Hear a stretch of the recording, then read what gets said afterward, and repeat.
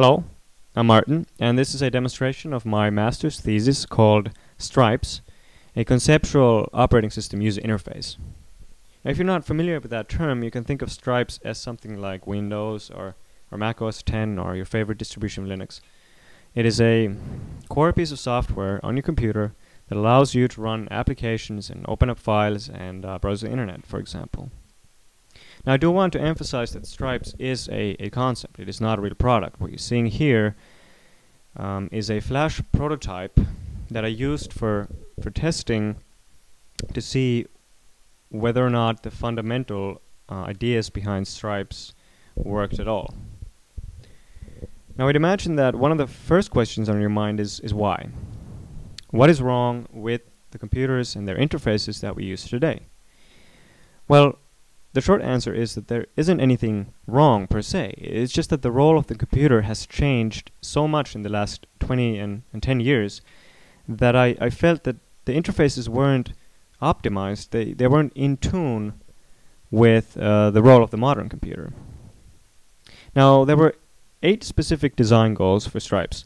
Now, I won't go into all of them, but I'd really like to emphasize that um, I, I, wanted Stripes to be a very, very simple yet efficient interface. So it would be easy to use for, for those who are unfamiliar with it, and yet uh, provide a lot of power for, for those who, who want to be as productive and as efficient as possible. So that being said, let's take a look how Stripes actually works. What you see here is the login screen there's a pretty picture and um, some information like uh, the date for today and uh, the current time. And I'm just going to log in um, by clicking anywhere on the screen. After logging in, we enter what I like to call uh, the launcher.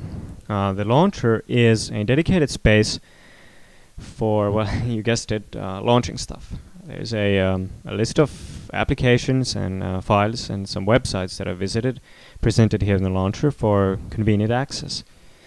There's also some space for applets, uh, which are basically mini applications that provide uh, relevant information for the user, um, such as um, today's calendar events or the status of my mailbox. Um, this is something that, that is very convenient to have right after logging into the system.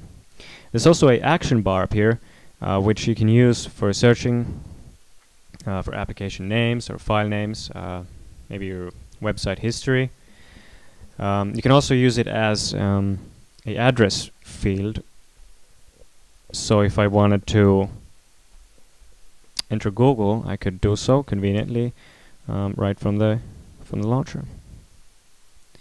Now this is a prototype, so there aren't that many applications and files and websites available here.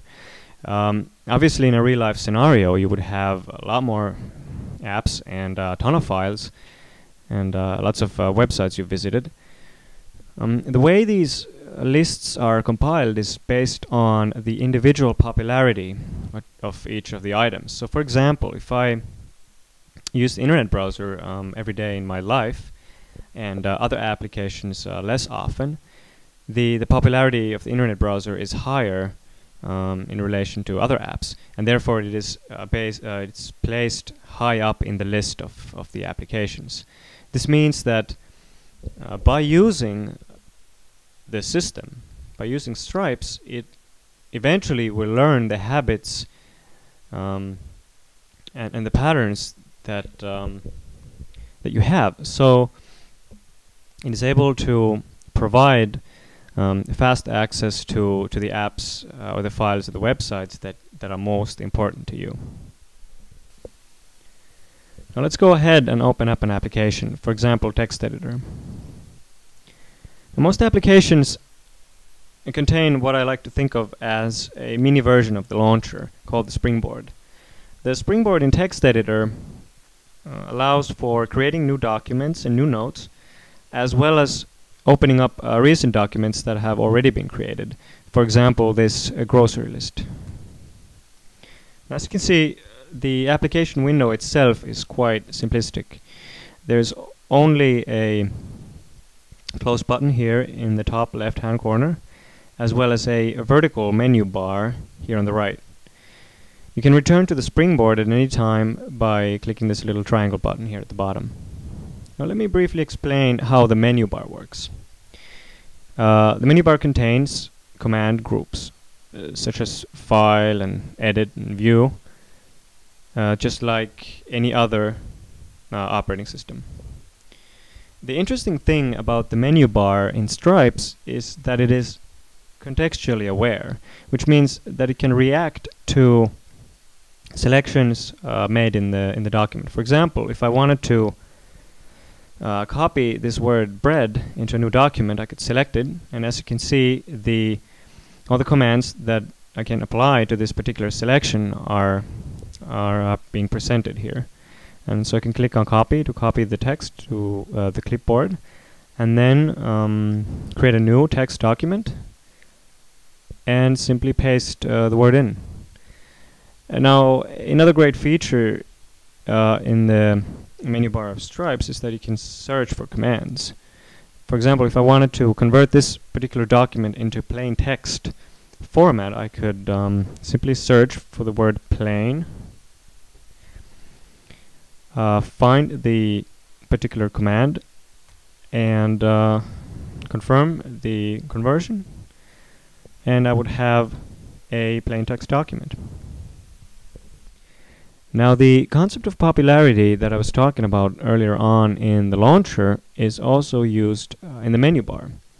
For example, in the internet browser here, you can see that there are four commands being presented to me on the front page, if you will, of the menu bar, uh, because these are commands that I have been using extensively uh, while using the web browser.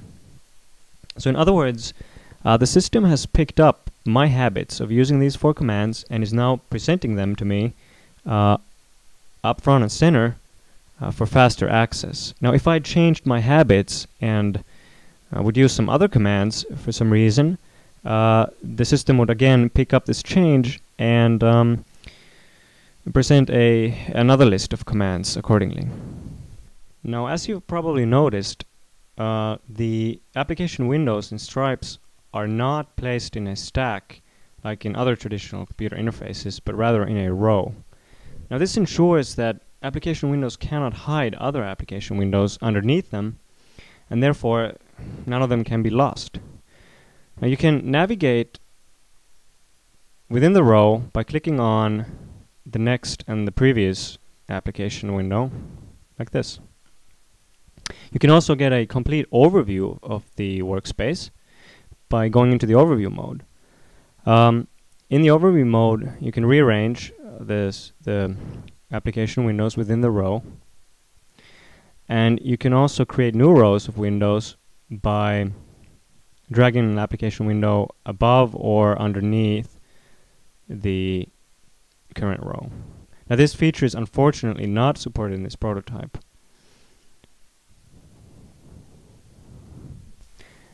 Now this has been a brief introduction to the fundamental features in Stripes.